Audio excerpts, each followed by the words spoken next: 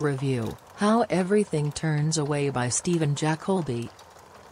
Description Ezra James used to be a big deal, Harvard graduate, FBI agent, beautiful wife. After being accused of fabricating evidence in a serial killer trial, he finds himself suspended, on the verge of a divorce, and working security at a posh Catholic school in Chicago. Then something out of the ordinary happens, a young student teacher is attacked during a Christmas pageant and left for dead in the snow with a noose around her neck and an electrical burn. Plus, she's pregnant.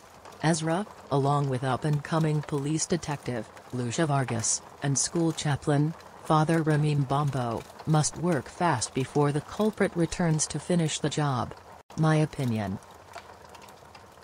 How Everything Turns Away by Steven J. Kolbe is a mystery. It's the first book from the Ezra James series. This is a very good book.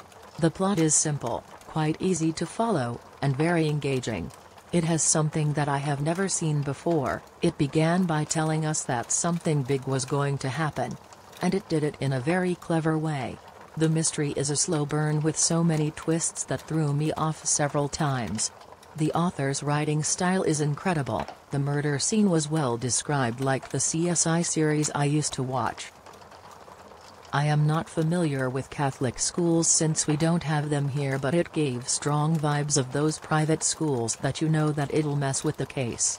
I think that this situation with the rich kids, the poor immigrants, and the opinionated rich parents added something extra to the story. The characters were a good match. Ezra was my favorite, he was closed off to himself with his issues but he was so good in his job. I liked Lucia as well, she was a spitfire with good instincts and funny. They worked so well together, like Sherlock Holmes and Dr. Watson. There are two scenes that I liked, the moment Ezra found the girl and when he became a hero. If you love mysteries then I highly recommend you to buy this one. I fell in love with this one and can't wait to see what happens next in Ezra's life.